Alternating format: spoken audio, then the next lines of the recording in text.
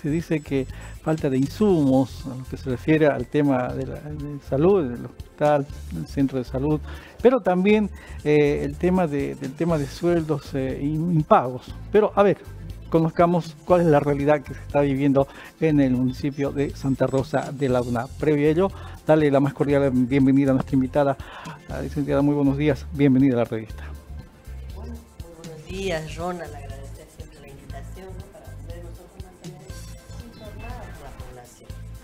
Eh, nosotros estamos muy preocupados porque el día de ayer, bueno, en realidad ya desde el día domingo la población se ha empezado a movilizar por el tema de que han entrado en un estado de emergencia. ¿No? El tema de salarios, el tema de medicamentos, el tema de lo que son insumos, y todo lo que conlleva el, lo que es el atender a los pacientes. Estamos hablando del municipio de Santa Rosa de la. Estamos hablando Perfecto. del municipio de Santa Rosa. Desde el día de ayer a las 4 de la mañana deciden bloquear lo que es el municipio de Santa Rosa cabalmente en primero de mayo. Algo que nos preocupa mucho. No puede ocurrir eh, el tema de que la población tenga que bloquear cuando tenemos un recurso garantizado por el municipio. Porque ellos hacen las atenciones, eh, por decirte, de cualquier enfermedad y ellos reciben sus repes. ¿Qué significa esto? Que yo hago una atención eh, por diarrea, digamos, ¿Qué es el REPES? Porque esa palabra eh, escuchamos, ¿no? Bueno, este, el REPES es lo que te hacen la devolución por la prestación que haces. La prestación es que nosotros hacemos una atención en diarrea. Eso tiene un costo, donde por ley te lo tienen que devolver. Eso no se puede tocar ni para salarios, no se puede tocar Tiene ni un para- solo determinado eh, objetivo. Esa Sí, plata va destinada específico. a cierto... para medicamentos. Ya. Específico. O sea que ese municipio no puede pelear ni puede decir o reclamar, por lo menos no debe, porque ese recurso está garantizado y asegurado. Quien no haga caso No se de puede, en pocas palabras, no se puede desviar para ninguna otra para situación. nada. No puede venir el señor alcalde o alcaldesa a decir, bueno, pues aquí mm, ellos ya han recogido las prestaciones o las atenciones y ese recurso no los vamos a llevar para, por decirle, arreglar el centro de salud. No, no se puede. Ese recurso es exclusiva para comprarles medicamentos y garantizar la atención. No estamos eh, menospreciando el trabajo que haya con el alcalde del municipio de Santa Rosa. Con seguridad no debió permitir que haya un bloqueo y se llame a emergencia. ¿Por qué? Porque se tiene primero garantizado. No, es el tema de salud además, ¿no? Así es, imagínense, hasta ver que toda la comunidad venga y haga su, su paro. Otra cosa, ellos están impagos tres, cuatro meses el personal de, el personal de salud.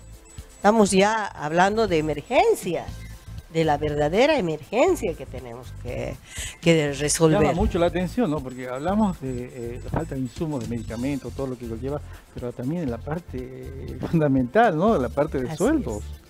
Nos preocupa bastante. Nosotros tuvimos la oportunidad eh, el año pasado, ya casi finales de año, fuimos a Santa Rosa y en, en Santa Rosa tenemos, por decirle, pequeños eh, arreglos que se pueden solucionar y que no significa mucho. Pero sin embargo no se lo, se lo ha hecho. Hasta la fecha no se lo ha hecho. Son de repente poner algunas pernamancas, poner algunos plafones y de alguna manera no permitir que se entren ni siquiera los murciélagos. Eso estaba pasando. Y quedamos en el compromiso de que se van a hacer, pero los funcionarios tampoco tienen la responsabilidad de decir, bueno, nosotros nos comprometemos para que esto no ocurra. Quedó en palabras. Queda en palabras. Pero ahí eh, el actor principal es el director municipal del centro de, de lo que es el municipio y el responsable directo es el alcalde. Claro.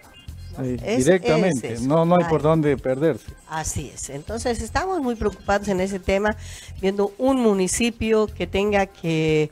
Pero y a todo esto, ¿qué, qué argumenta la primera autoridad de, de ese municipio? Ayer se lo ha llamado y dijo que no iba a venir hasta el día miércoles que él iba a llegar. Mañana. Ajá. No sé si hasta, la hasta las horas de hoy en la mañana, tal vez haya ido, no podríamos asegurar, pero lo que sí sé que hemos- nosotros hemos hablado a las 9 de la noche con la responsable de la estructura social de, Santa Rosa y no se ha hecho presente. Y la gente mantenía su medida de presión. Entonces, eh, el abandono, la falta de atención es grande, es muy grande. No, de ahí el hecho, ¿no? El tema del bloqueo, ¿no?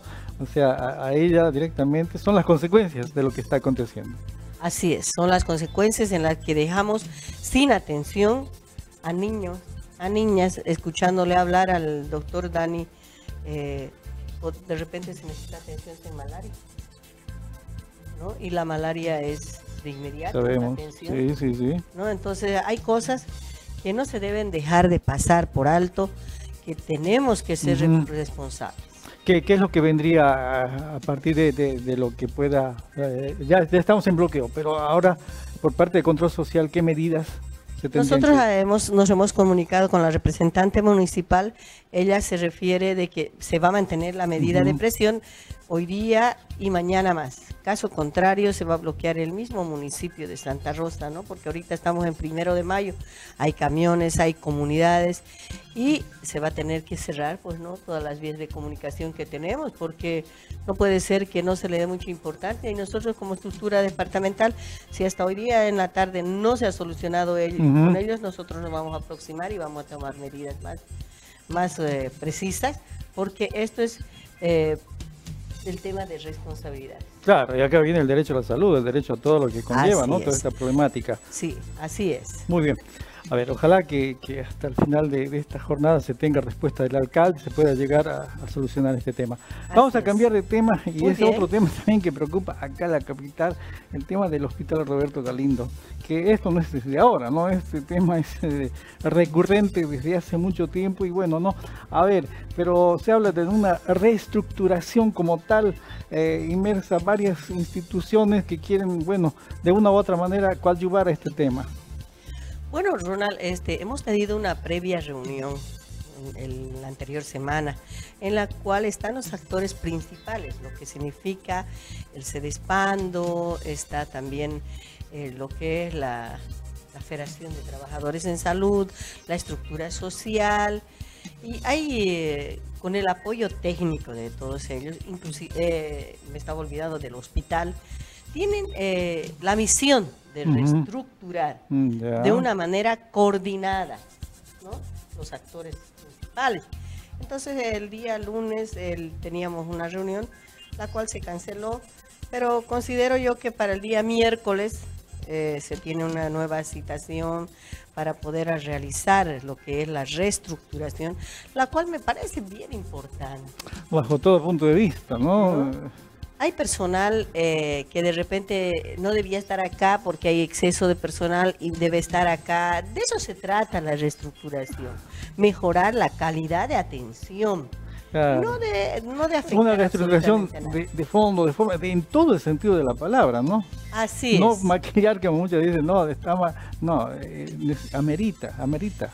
Amerita una reestructuración en la cual de repente vamos a optimizar la atención todo el mundo nos critica, ay, el hospital está mal, el hospital. Pero en esta oportunidad los mismos actores han dicho, debemos reestructurar y debemos mejorar.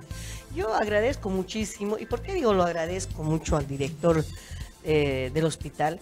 Porque él se ha sentado y ha tenido la voluntad de poder trabajar, que es su obligación, dirán. Pero todos hemos tenido mucho tiempo de obligación no se ha hecho. Claro, exactamente. No, no se ha o, hecho. o queda, quedó en palabras nada más. Así es. Ahora tenemos la, la predisposición de la federación, la predisposición del sede expande para solucionar la estructura social a la cual nosotros representamos.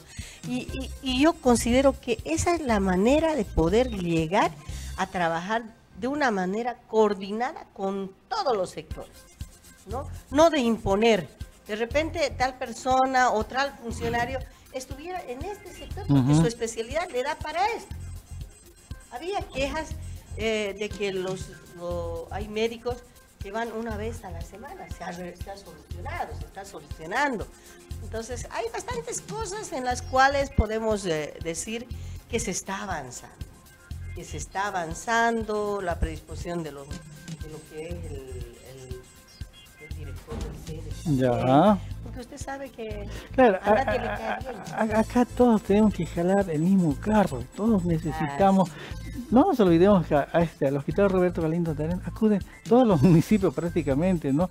Entonces eh, tenemos que, de una u otra manera, ya que durante mucho tiempo no se dio esta situación, bueno, y si llegó el momento en que todos quieren colaborar de una u otra manera, bueno, pues hay que viabilizar esta situación. Así es, Ronald, no nos olvidemos que el Hospital Roberto Galindo es, es el referente departamental.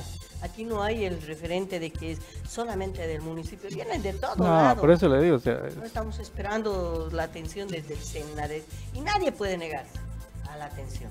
Pero ya esta sobrecarga también ya rebalsa.